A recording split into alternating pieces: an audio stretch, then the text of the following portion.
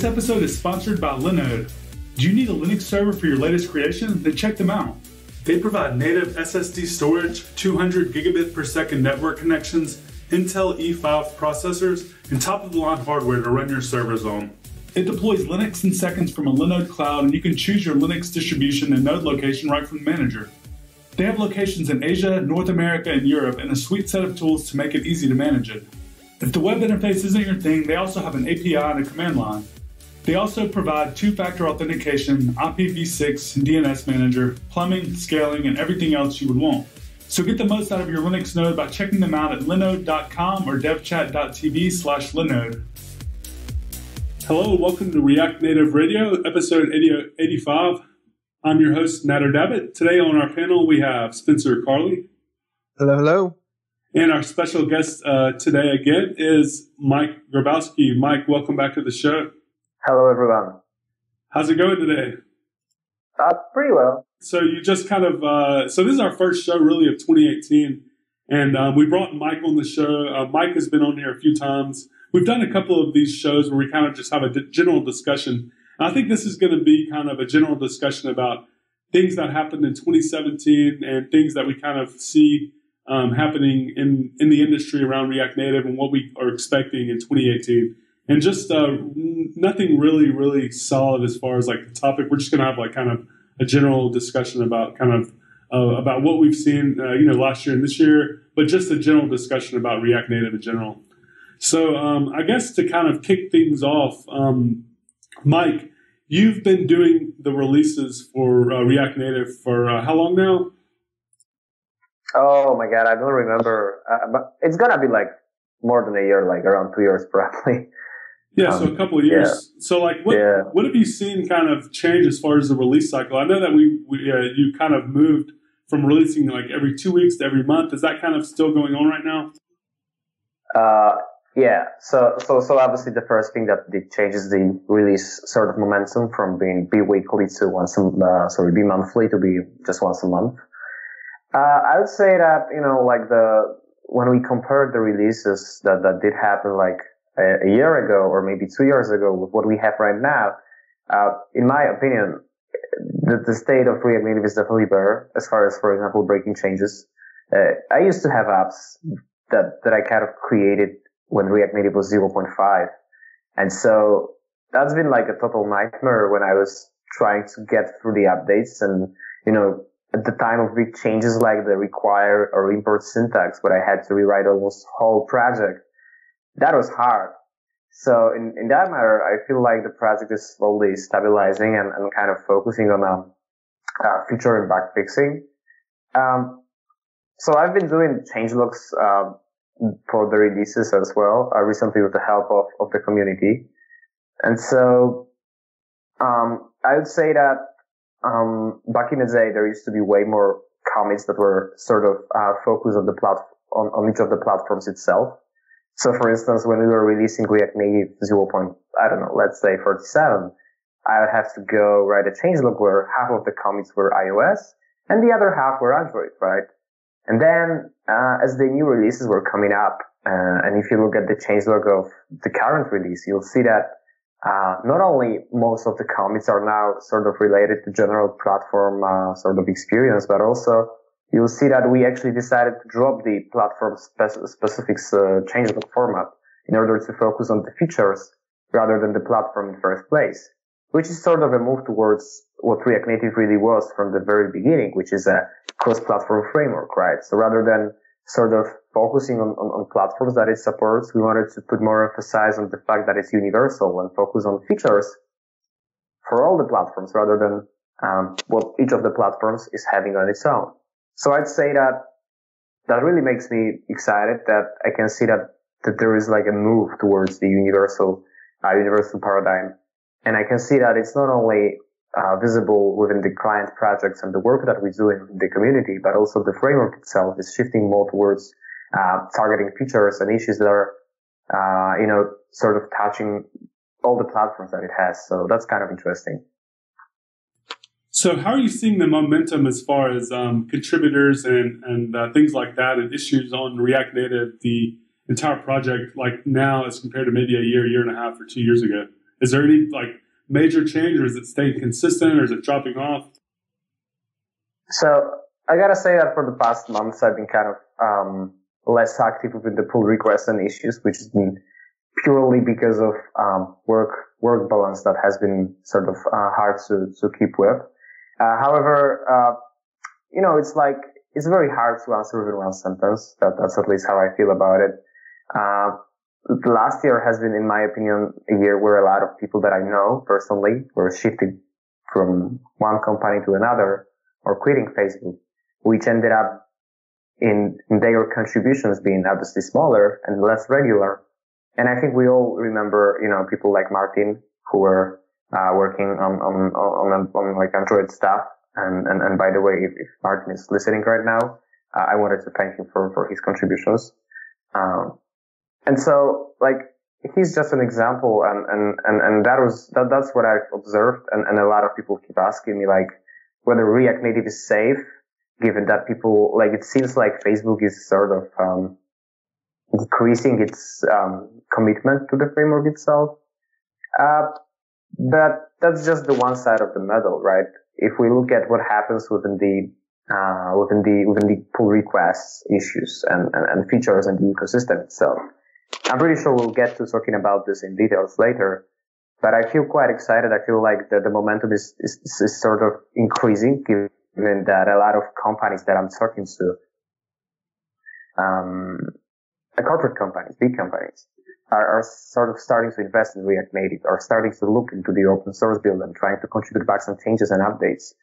And so that's for me a, a very interesting thing. And, and, it's good that there are companies that, that we can rely on, right? Because it's definitely easier to use React Native if you know that people from Facebook or Facebook itself or other big company um, is using it, right? Because that's sort of a guarantee that in case things go wrong, and one of the major leading companies decides to sort of stop its commitment, there, there is still going to be a company that can, that you can trust will sort of try to take over what's left and, and kind of get things delivered.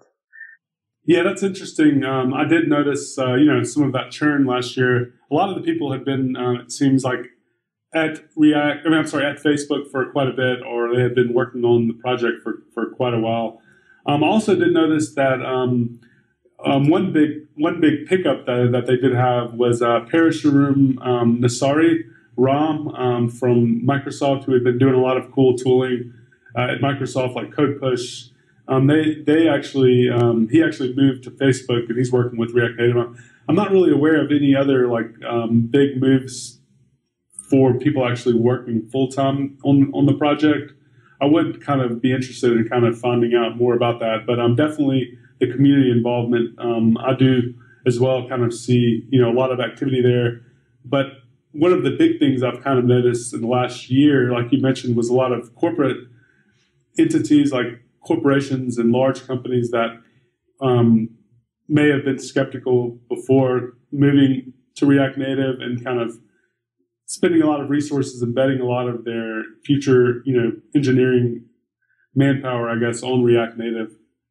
So um, that's that's definitely a good a good sign in general. So another thing is if you look at like like I can tell this from from from my let's say consultancy perspective because because uh, obviously like just for reference I work at the company that does React Native and React for clients, and so um, when we when we co-founded Callstack two years ago, we even just like one of very few companies out there, I guess like maybe three companies doing React Native that were kind of public about it.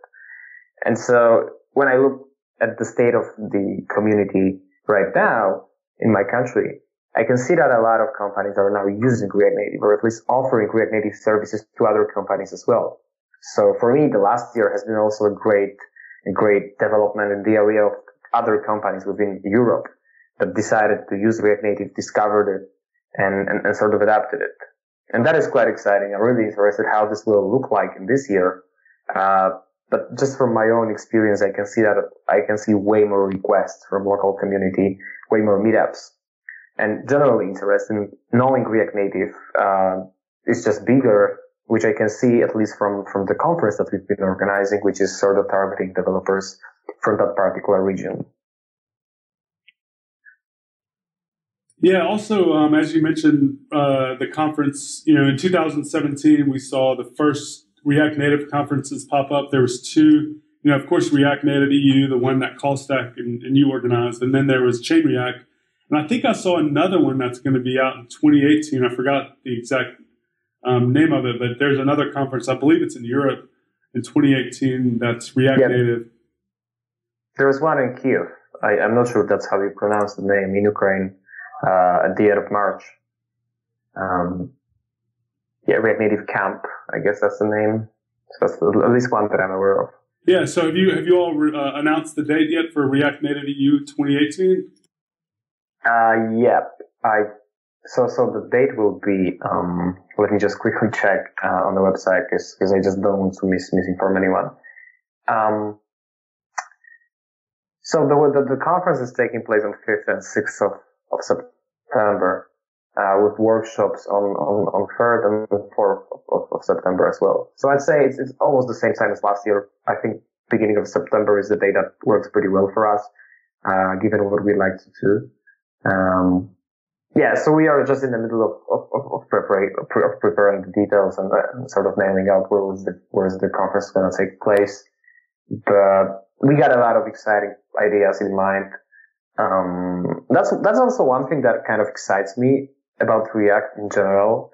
Like I've never, I've never done, like, I've never went to any conferences outside of JS and, and the React realm.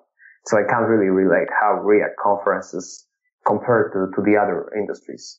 Maybe you, maybe you have some ideas. Um, but from my experience, like every React conference that I go to, uh, puts a lot of value into like community, um, some activities, um, generally things like after party. So, so there is always something going on. These conferences have theme. They are kind of very, very like well thought and marketed. And so we wanted to kind of do the same. And, and, and, and the reason I'm saying this is that, um, the last year has been quite successful for us as far as the after party that we did and, and all the events. And for this year as well, we'll try to do some crazy stuff as well uh, we like, you know, uh, projecting lasers on, onto campaigns and stuff like that. So it's going to be fun. And I'm not sure like what you think about it, but I'm really excited that conferences like this exist because essentially that's how we can connect with each other. And, and that's, I guess, how we met, um, on the conference. Yeah, so um, as far as the conference is concerned and other communities, I, I was big into like Angular before I got into React. And I was also kind of attending just regular JavaScript conferences.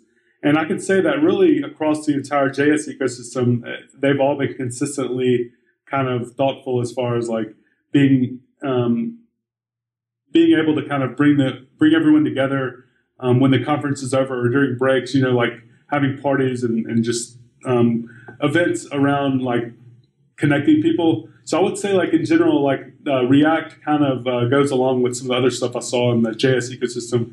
Um, equally, you know, it seems really, really a nice, you know, environment for me at least uh, between all these other conferences as well. Um, but in in general, you know, since you work a lot with a lot of different companies, um, and kind of that's what I've done as well over the last year. Have you seen any any change kind of in their um, in their mentality as far as like what they're kind of spending their money on as far as like development from last year until this year uh, you know not only with react and react native but just in general? Well obviously I, have observed quite a lot of changes. Some of them were positive. Uh, one thing one thing which really makes me happy because because this topic is very close to my heart and, and the company itself is that with every month, there are more clients and generally more people interested in, in creating universal apps, which I think is great, uh, because essentially that's why I think React Native makes sense for, for a lot of developers. And, and the other thing that I've observed is that there, there is, there, there is sort of increase, uh, of, of corporate companies interested in adopting React Native. And, and what they are trying to do in particular is they're trying to integrate their apps, existing native apps with React Native. So that opens a lot of interesting possibilities on how to sort of um, integrate React Native with existing native app.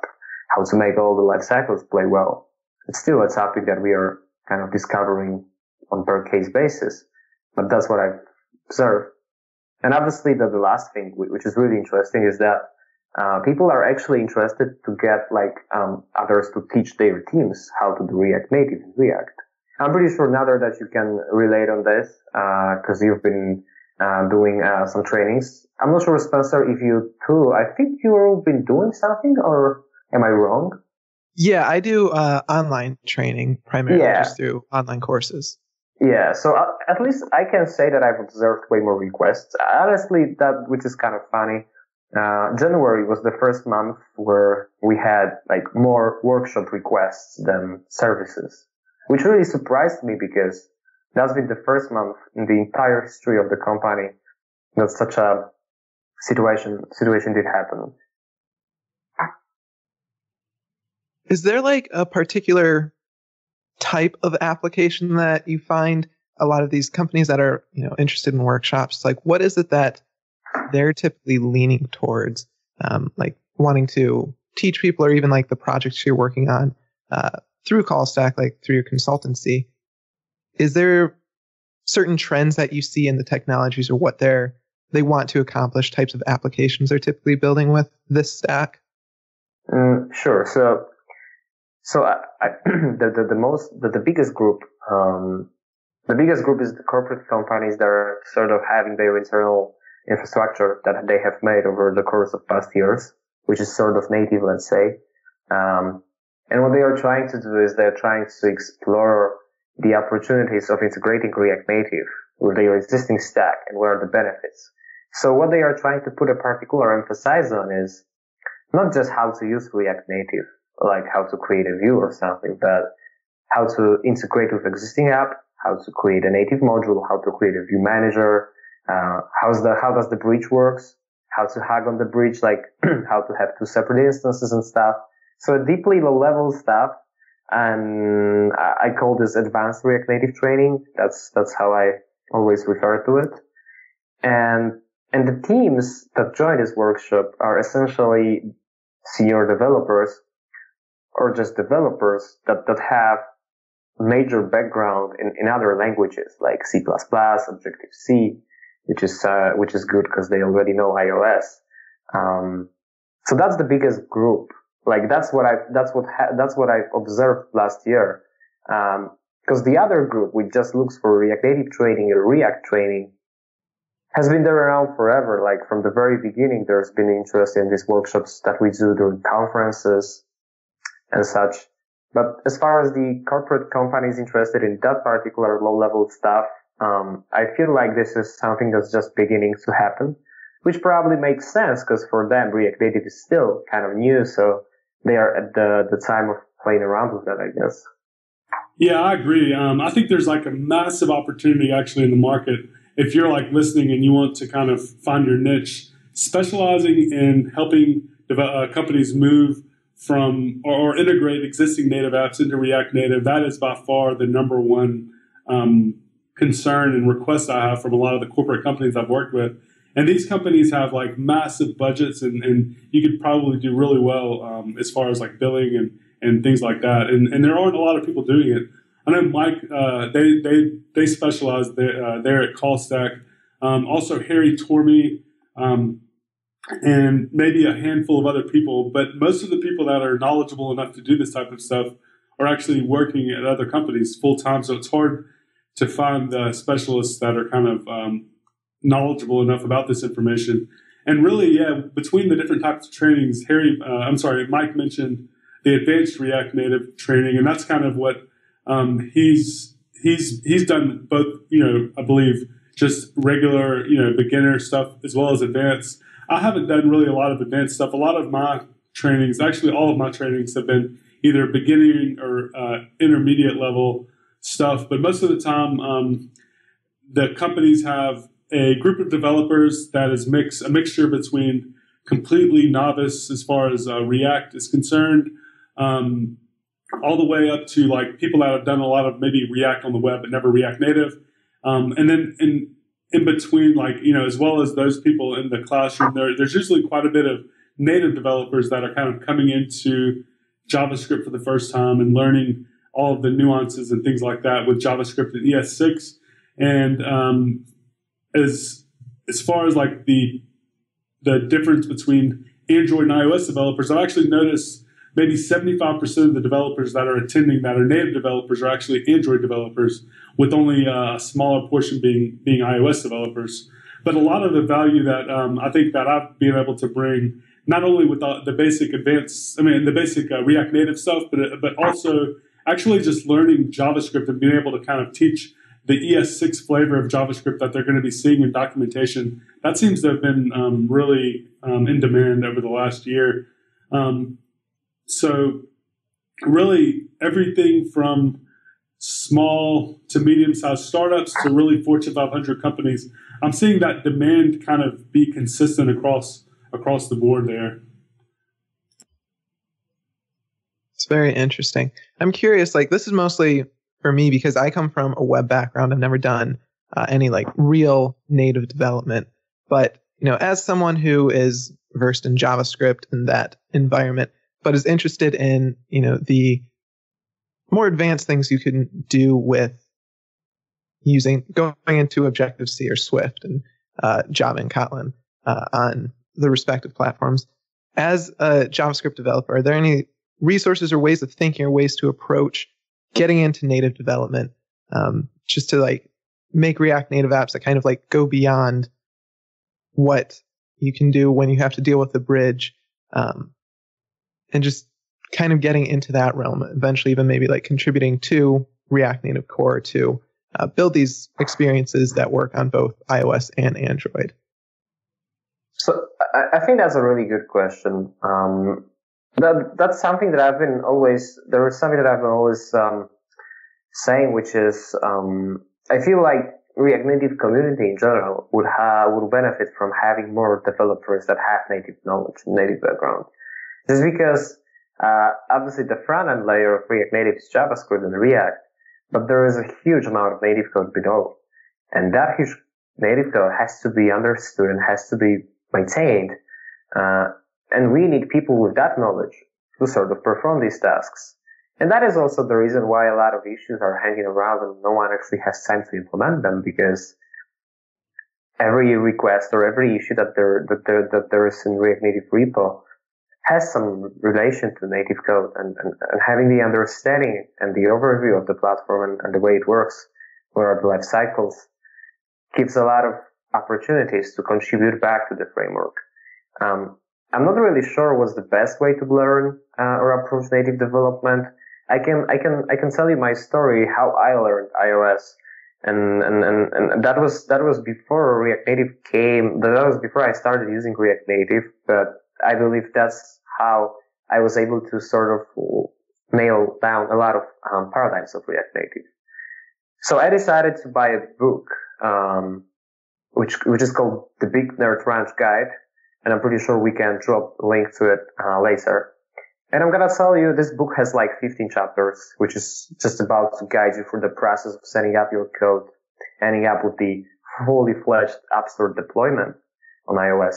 I, I dropped this book at the at, at like chapter eight because I decided that I'm not I'm not be like following the book because at that point I, I felt like I'm doing faster than they are explaining, and so I decided to write my own app. So I would say, um, for someone to get, get deeper into React Native to understand, like, if you are doing React, uh, React Native with JavaScript and you feel like you don't necessarily realize what's going on there and you'd like to have some confidential, comfort, comfort understanding what's going on, I'd suggest you learn, um, iOS platform by, for example, reading this book. Maybe not necessarily how to program a native app, but at least try to sort out the language, the syntax, simple constructions, and most importantly, try to understand the life cycle of the app. So try to understand how iOS app behaves, what are the background modes, how, how is that the iOS app can actually play music even though there is no background mode for iOS. Try to understand the scheduling, how, for example, alarms get triggered, what is the background fetch, and then you will understand how does the React Native headless JS works? Because you now know how the how the um, how the how the scheduler works on native side, and then you will realize that these things actually make sense.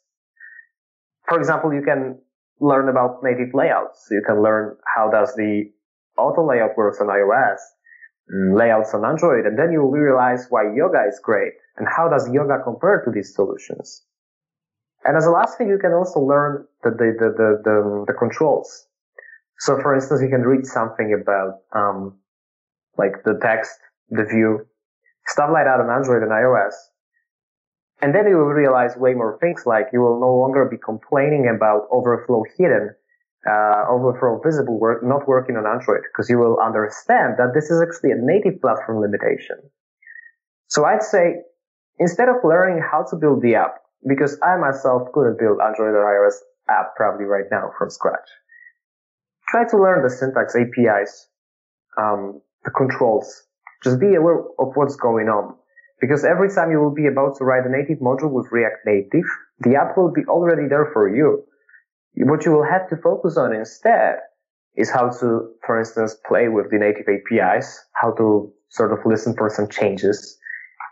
And then you will realize that all that sort of native code that we are talking about with React Native is actually quite simple.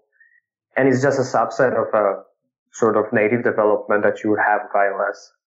But that's what I would recommend. Because a lot of people are, for instance, complaining that Xcode or Android Studio are quite bad and we should kind of use a unified sort of editor for all the code. Which is somehow true, but on the other hand, these tools have a lot of features.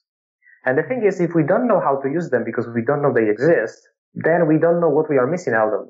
So I'd suggest that would be my step to recap try to re- read this book, for instance, just just five, first five or six chapters, um, and then uh, things will go smoothly. Which book um, is that? Uh, this is the, the, Big Nerd Ranch Guide. Oh um, yeah, yeah, yeah. Yeah, I mean it's been the most recommended book that I've ever I've ever heard of, and uh, honestly, like I, I'm very skeptical about reading from books and generally reading. Like I'm very skeptical that I, like, I feel like I can't keep up with, like, with videos and stuff. I just feel like I'm, I'm not, like, uh, let's say, um, focused enough to follow what's going on. But this book has been the first one that actually worked for me. Um, so I'd suggest to try it out if you haven't yet, because I feel like that would be my take if I would be about to learn native development again. So, does any of the knowledge transfer between the two platforms? So, for instance, if you do kind of start studying the iOS development and you learn how to kind of do the integration for like a single view maybe into an existing iOS app, uh, and then maybe you learn how to do bridging, will any of that knowledge transfer to Android? Well, I mean, obviously not the, the app lifecycle and, and things like things like this, because these platforms are totally different. However, um, things like the bridge and the concept in general doesn't really change. And I think that is the very precious value, the experience that you get. Because essentially when you start working on native modules on iOS and you start integrating with some APIs, you'll observe that the Android API is very similar. It's just that it has some differences, which are because of Java or because of Android platform. But the concept itself is the same. And I started with iOS because iOS for me was easier and, and I just knew it, right? So that was very obvious for me that I'll try writing native module on iOS first. And then I decided to go with Android and, and things were way more easier for me than the previous time that I tried just because I had the concept in my mind. I knew how the bridge is going to work probably more or less. I knew where to look for the code snippets and stuff. So what I did is I, I went for the source code of Android, uh, of React Native on Android and I learned how these things are implemented. And and this is also one one thing that is worth highlighting, which is very surprising, um, is that the React Native Android version source code has a ton of documentation, which is not even like on the website. It's just it's just inline comments on all the classes. And in order to understand pretty much any part of React Native on Android, you just have to go to the source code and read the docs. It's like there is like a whole explanation of lifecycle of examples and stuff like that. So if you look up anything that you use with native modules, you'll find an answer. What's that doing? And most importantly, why it's doing it that way. That's really great. I just just ordered that uh, Big Nerd Ranch guide. Gonna finally dive into iOS development, understand what's going on there. You can't go wrong, I guess, with that choice. Yeah, and those guys actually uh, do really, really, really good training as well, from what I understand, iOS and Android boot camps and things like that. Um, I'm actually on their website right now, just kind of getting an idea. So it looks like they have these five day boot camps. They're not cheap, but from what I hear, they're like the best. So like maybe around forty two hundred dollars for like a five day uh, on site training. So it looks like they have iOS with Swift, Android, advanced iOS. Yeah.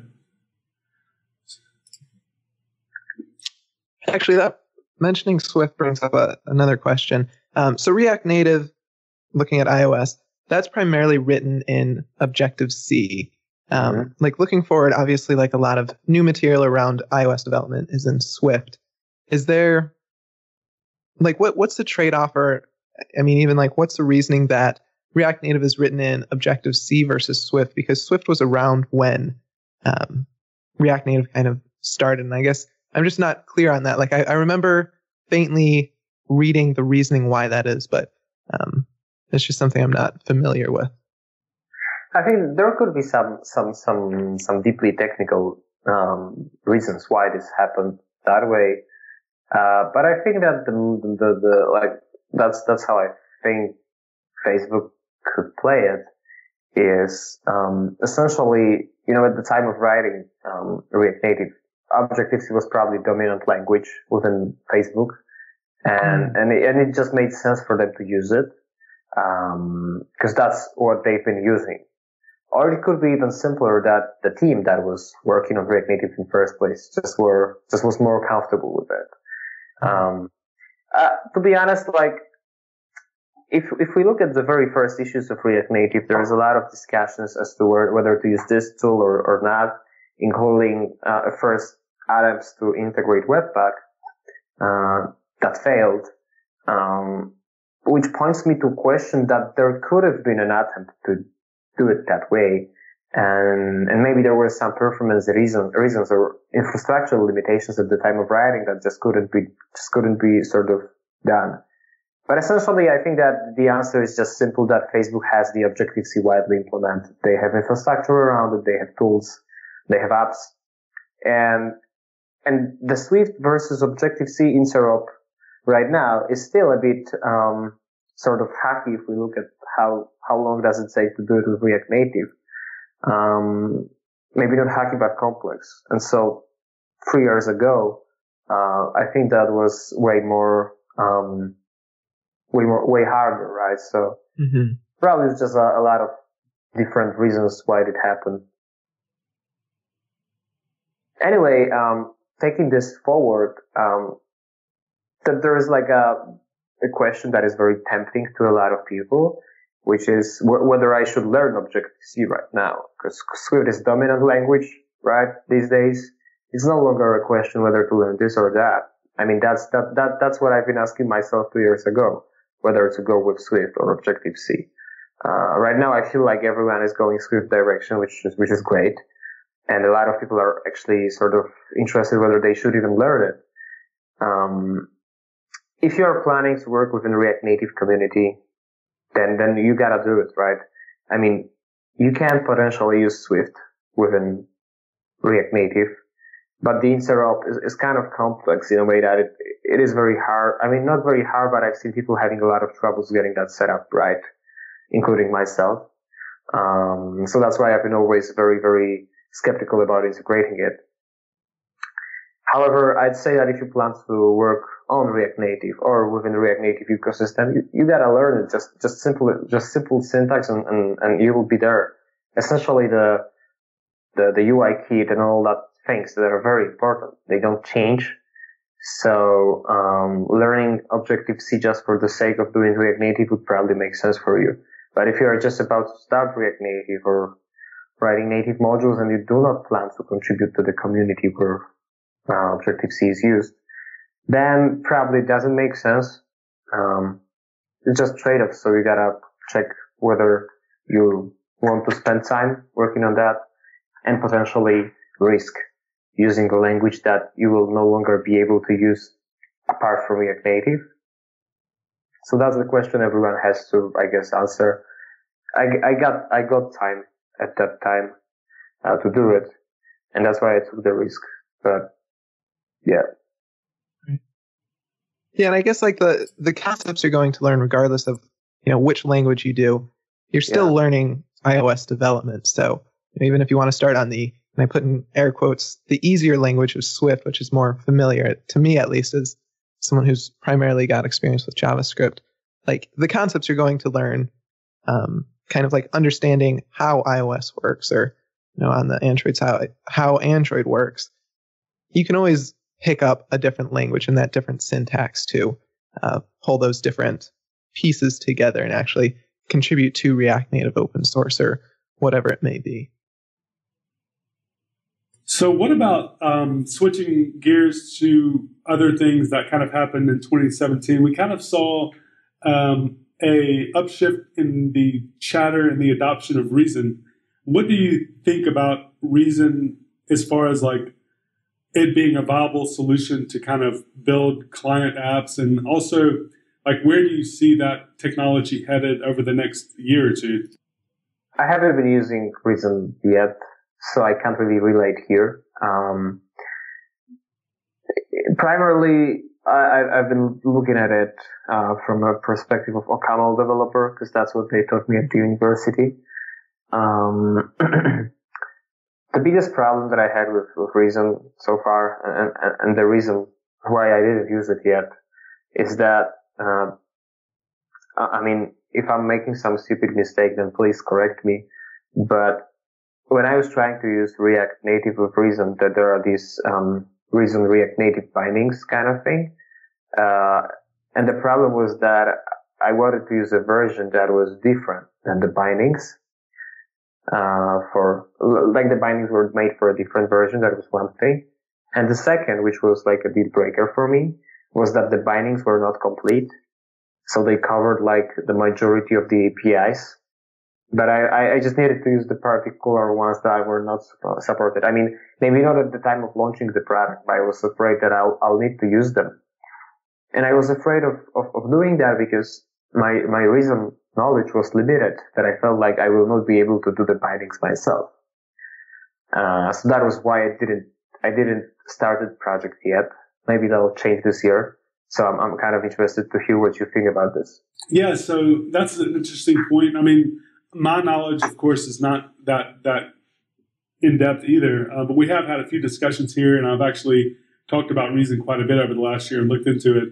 But um, you know, essentially, it's just another abstraction on top of of an of an abstraction on top of an abstraction, and it's just you know, it starts getting you know more and more complex. And um, I think as the ecosystem matures, those bindings will either become more consistent and mature, or I know there's talk of actually compiling reason directly down to native code and like skipping the whole JavaScript part. But essentially, you know, what is happening, at least to my understanding, is the OCaml is being compiled to BuckleScript, which then compiles to JavaScript, which then you know powers your React Native app. Is that is that kind of right, Mike? Yeah, I think I think that's how it's done. because um, the great thing about OCaml sort of is infrastructure on a very very high level uh, is that it's sort of pluggable, like like the normally where you have the the parser like Circ compiler and stuff. It's just one thing that you can replace with OCaml. It's it's kind of easy to replace it and hack on top of that and that's how Reason can actually replace the target. The, the target can be replaced and actually be a BuckleScript. So that's right. And actually you could be writing OCaml for web. So it would be just like Reason, but without the Reason syntax. So it's just to say that the infrastructure has been there for, for, for a long time. I guess developers at Bloomberg were the ones that were originally experimenting with that. And so they made all the all that. They will, they, they, they kind of prepared all the background with the community together to allow the other abstractions to happen. So it could be, yeah, that, that, that I think you are right with this. But probably some ReasonML specialists uh, that we have on Twitter and, and, and, and subscribe to this podcast will probably have some interesting highlights as well. Yeah, we need to have another episode on Reason. Actually, hopefully, someone yeah. um, can come on in the next couple of months and give us an update because I think it's probably been about a year since we had someone on talking about Reason, and that was really at the very beginning of all all the hype that we've seen over the last year. So now we should have um, a better, you know, a better like ecosystem of things to talk about. Whereas back then it was kind of brand new. Um, and also this year, you know, GraphQL is not a new thing at this point. It's been around for a couple of years, but I feel like the momentum over the last year has actually just gotten very, very significant. Um, we're seeing a lot of like real companies picking it up, just like React Native. Um, I know that um, you know I've been working some with Amazon, and I work with Amazon now. They've released AppSync, which is kind of like uh, Firebase, but for GraphQL. And then there's Graphcool that kind of happened over the last year, which is a similar service. And then, of course, the Apollo team is doing a lot of cool stuff. But and but the big thing I'm seeing is actually companies when they're thinking about building a new app, actually using GraphQL as um, as part of their data layer. Have you seen that, Mike? Yeah. So first thing is that when you say GraphQL has been around for a few years, I feel like I'm getting old. Uh, I'm, I'm still kind of, I'm still young, right? Because I'm 24. And, and I remember, um, I was on the conference where, where GraphQL got sort of, um, announced. And I feel like that's been just yesterday. So when I hear like a couple of years, I feel like, oh man, that's been a long time. So I guess 2015. I just looked up the date because I didn't know, and now it's 2015. so yeah, so as of as of this month, say yeah, a couple of years. the first passing. stable release was actually 2016. It looks like. Nice. Yeah. So to be honest, I feel like the last year GraphQL developed quite well. I, I didn't have time to play around with GraphQL last year at all. And, and now when I just got back to check it, I felt like so many great things did happen there. So one thing that I can tell you about, which is really exciting for me because I'm planning to get my next project built on it, uh, is actually the AWS thing that you mentioned, the AppSync.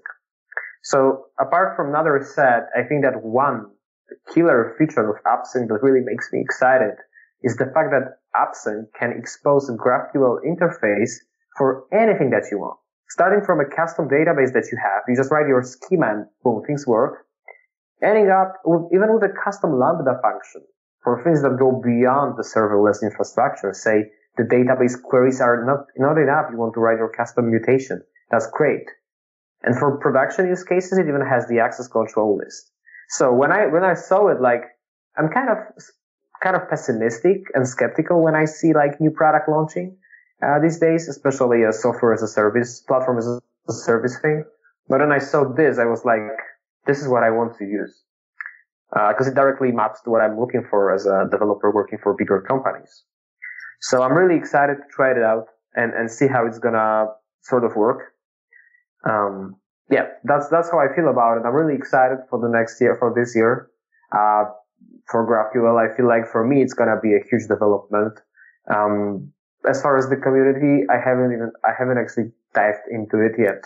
So apart from, um, apart from my friend, uh, Peggy that joined Apollo GraphQL last year, I don't really know any major updates. Um, so, uh, yep. Well, um, we kind of talked about navigation recently, so we won't really dive into that too much. But uh, really, you know, as of right now, still it's kind of the same. You know, as we talked about before, I think um, you know React navigation as the community effort, and then React native navigation from Wix as like an open source um, native solution. Is that kind of still, uh, in your opinion, Mike? Because me and Spencer actually just had a long discussion about this on a few uh, on an earlier episode. But is that kind of what you kind of also are seeing as like the two main solutions? Yeah, I mean that's definitely the, the most popular solutions from what we've what we've been implementing for our clients. Uh, I myself, I've been always promoting Wix navigation just because it's been more stable for me. Um, not saying a better one, but definitely more stable for, for what I was needing back then. Um, but yeah, these, these two have been the most, the most popular ones so far that I've seen. Obviously, React Navigation had its own issues, and I think, uh, I think Spencer might have more updated information on that because I haven't been contributing to React Navigation for like a few months, I guess. Um, but what I'm really interested and excited about for React Navigation, basically, like, like the first, the first problem with React Navigation was that there was never like a dedicated team to work on it full time.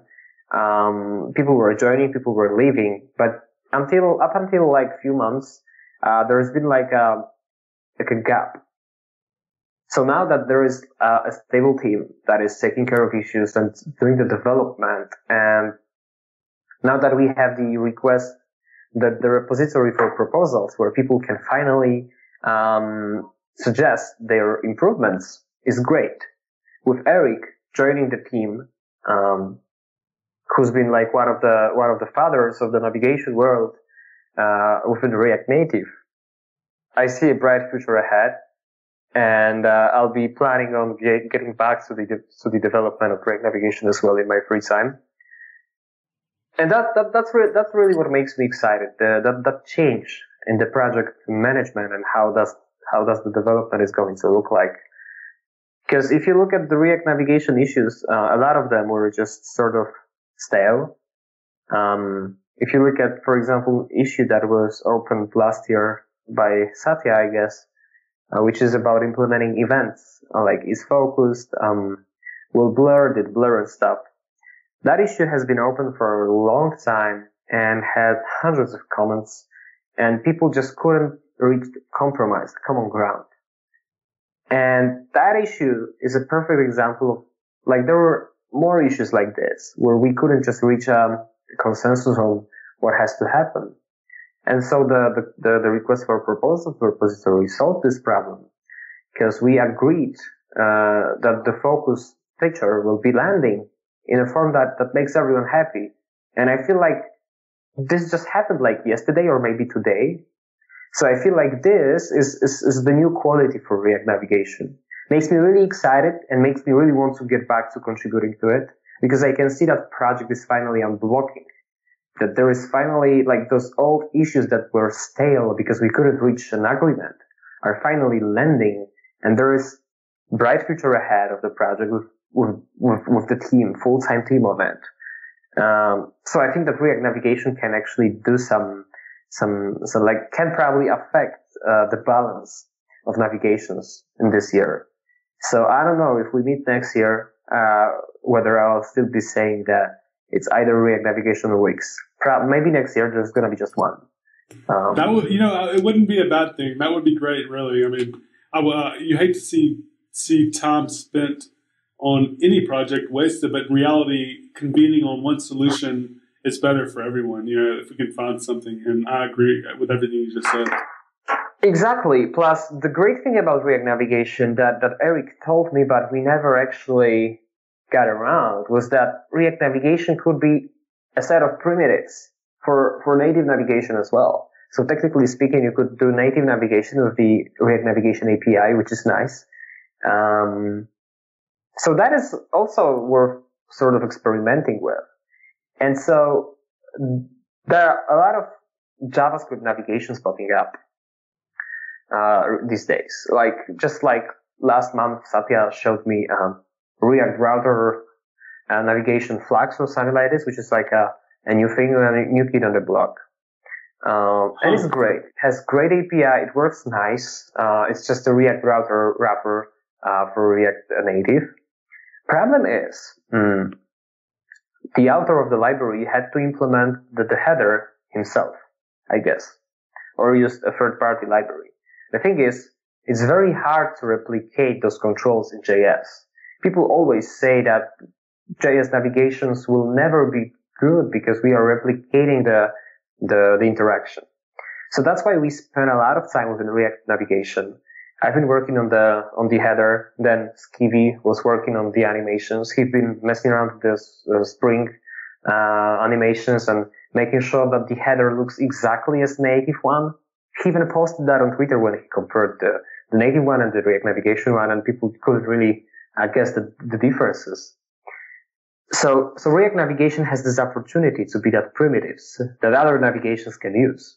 So if someone wants to, for instance, do the React router navigation, they could have just used the, the React navigation header, right? And, and get all that benefit or all that hours we spend on mastering the header to look like native rather than going to the code and creating that header himself, going through the same mistakes or the same limitations that we did go through. Right? So that's where I also see a great opportunity for React navigation this year. Yep. The project is not definitely going to die. The name is too cool. So yep. Well, it's interesting. And uh, earlier you mentioned in your free time, and I, I started laughing to myself because I know you and I know you don't have any free time. yeah, that's true. That's actually one of my biggest problems recently, which is time management. Uh, I still haven't figured out how to solve it. Uh, but, you know, that's the problem that you have when you're working on a sort of business related uh, position. So I see React navigation as an escape hatch for me to stay technical and technically relevant.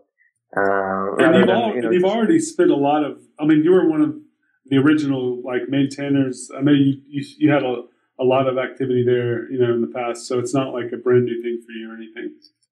Yeah, yeah, yeah. I mean, I decided to drop on purpose because I had uh, just other projects to take on, and my capacity for open source activities is sort of limited.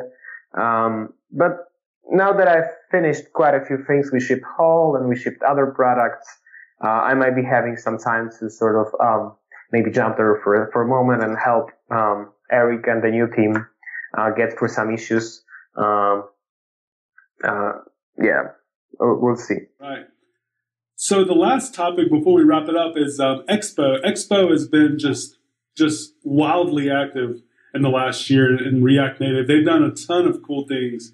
I know that um, Snack was, I think, was kind of something that happened this year. Maybe I'm mistaken, but um, I know they've done um, a lot of a lot of um, they've had a lot of demos that were built using Expo that have helped me a lot, like people in the community, um, and they've been super active. But um, yeah, so definitely Expo is something kind of that we've seen continuing. You know, they've been around for a couple of years too, believe it or not. But um, you know, in the last year, they've definitely continued their momentum. Yeah, absolutely. I mean, I, I start every one of my uh, React Native projects with Expo now, and like that wasn't the case a year ago. Um, but just the platform that they've put together, it's just it's so easy to get started. And I even noticed like a drastic difference between the amount of time it takes to start the packager and get the app running on my simulator when running Expo versus um, just kind of like starting out a, a new project just because like they're taking care of a lot of stuff just to make it that much easier for someone like me who doesn't have that native experience and like isn't really going to tap into those uh, more into go into that iOS or Android project um, that comes with React Native. It just it's made development really easy, really quick, and you can just iterate so quickly with it. Yeah, I feel like I feel like that's that's that's great, and and then honestly, I think that Expo is the best thing that happened to our community. Not just because they could they create great tools. It's it's it's also because, and most importantly, they are great people and friends. Mm-hmm. And, and and what they are doing is just is just impressive. Like every single issue that I'm working on, they are just there. Like I'm not sure if I could be doing all that stuff that I'm doing with releases of React Native if it wasn't for Expo people that helped me. Uh, for instance, James, the CTO there, um, he's been doing releases uh, way before I did it. Uh, he's been working at Facebook as well, and, and, and like he worked on the infrastructure. And so up until today, uh, we, we often talk about like a lot of issues that, that happen within React Native. And they are always the ones that think. They're always the ones who sort of pursue that the fix the land. So, um, I, I just love their commitment to what they are doing because they are highly focused on getting React Native sort of perform well because that's what they are using internally.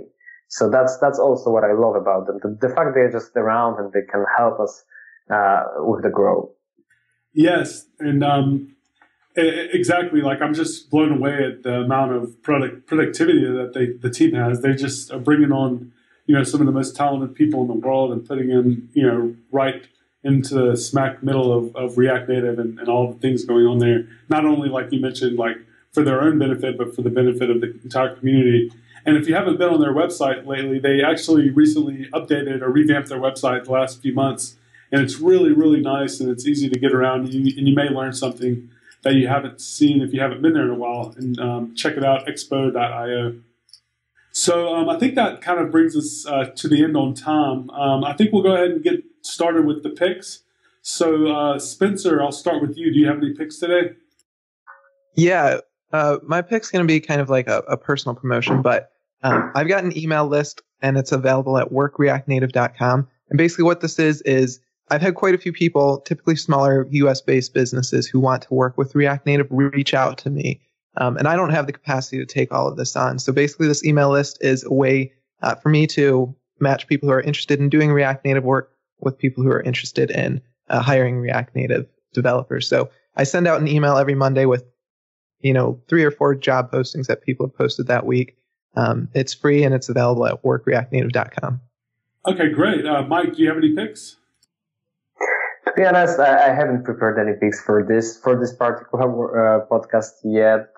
However, I do recommend you to keep an eye on the React Native releases. Um, the next one is, is, is going to be up at the end of the month. Uh, and regardless of the month you are listening this podcast to, that's always going to be accurate. Um, and, and, and maybe it's not a pick, but if you would like to help us with, with the releases, if you'd like to get involved into React Native ecosystem, but you just don't have time to go for issues, uh, feel free to drop me a message on Twitter. We are looking for people to help with uh, preparing the changelog and, and, and, doing general maintenance work in that area as well. So just let me know if, in case you're interested. I'll be happy to uh, sort of let you know all the steps that you need in order to get up and running. Okay, and uh, for me, I have a couple of picks. Uh, two of them are conferences. Um, one of them is Chain React, which is happening in July. We um, attended Chain React last year. It was awesome. This year, it looks like it's also, going to be great. Um, I'm going to be attending. I'm not going to be speaking or anything, so it's going to be fun for me just to kind of be there without too much to worry about, just to be able to go and have fun. Um, and then React Amsterdam is coming up in April. Um, I'll be giving a talk there on virtual reality and augmented reality uh, with Viro. And um, if you want to go to a really fun city and um, just you know see and do a lot of React stuff as well as fun stuff. React Amsterdam, I've heard, is a really awesome conference. I've never been. This is going to be my first time, but I really kind of uh, I'm looking forward uh, to going to it. And my last pick is a Pluralsight course. It's called Getting Started with DynamoDB, um, and it's by Abhaya Chauhan. I hope I'm pronouncing his name right.